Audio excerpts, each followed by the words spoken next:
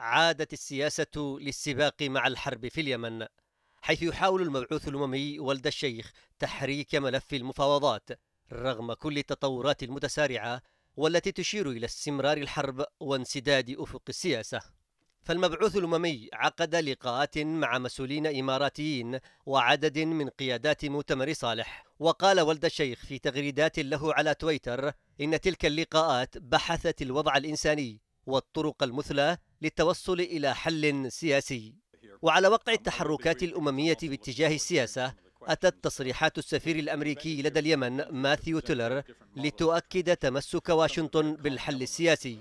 ويعول السفير الأمريكي على ما أسماه الجناح المعتدل داخل جماعة الحوثي. مشيرا في تصريحات لقناة اليمن الرسمية إلى أن مستقبل اليمن مرهون بحل سياسي ينهي الانقسام الراهن. وبدت تصريحات المسؤول الأمريكي متعارضة مع تصريحات السفيرة الأمريكية لدى الأمم المتحدة نيكي هيلي دعت فيها لتحالف جاد ضد تدخلات إيران في اليمن. تأتي التحركات الدولية باتجاه فتح منافذ للسياسة في اليمن في ظل تحركات عسكرية ميدانية مع ميليشيا الحوثي.